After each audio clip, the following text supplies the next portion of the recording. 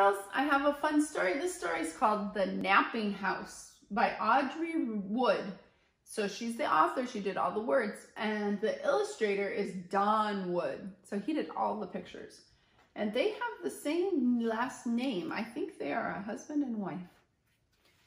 The Napping House. Well, it looks like there's a lot of napping going on there. okay. This is a nice story. Oh, it looks like it's raining a lot there.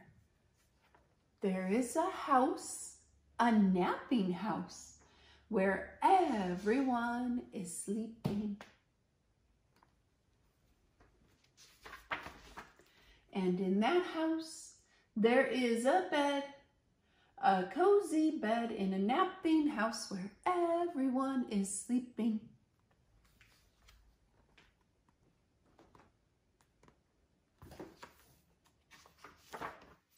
And on that bed, there is a granny, a snoring granny on a cozy bed in a napping house where everyone is sleeping.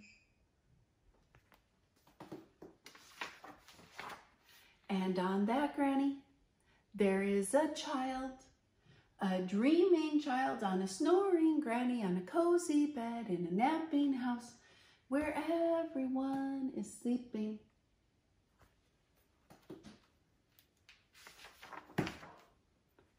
And on that child, there is a dog, a dozing dog on a dreaming child, on a snoring granny, on a cozy bed in a napping house where everyone is sleeping. Hmm.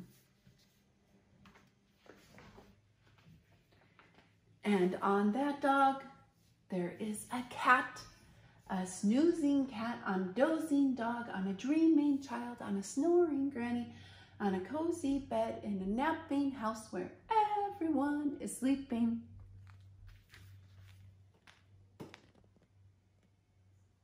Okay.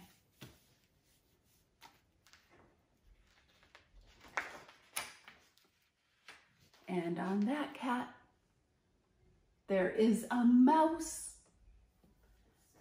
a slumbering mouse, on a snoozing cat, on a dozing dog, on a dreaming child, on a snoring granny, on a cozy bed, in a napping house where everyone is sleeping.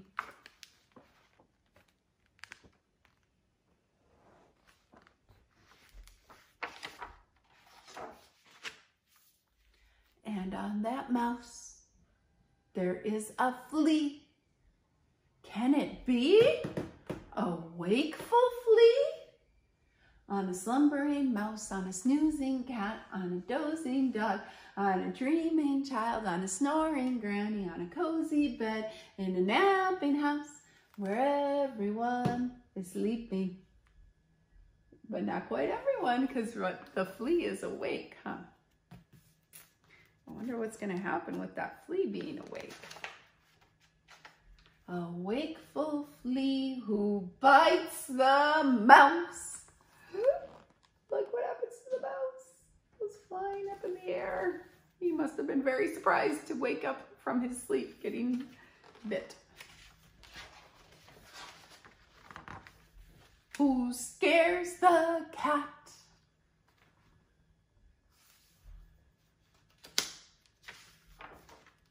Who claws the dog.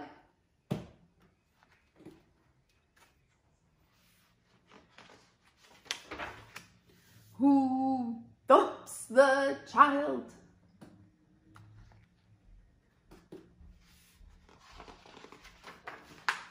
Who bumps the granny.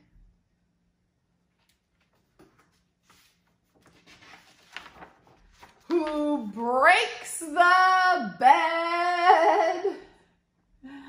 Oh my, things are getting crazy in there.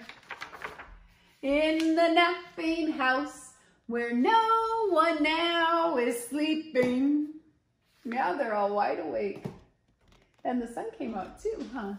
That was a fun story, isn't it? Thank you, boys and girls.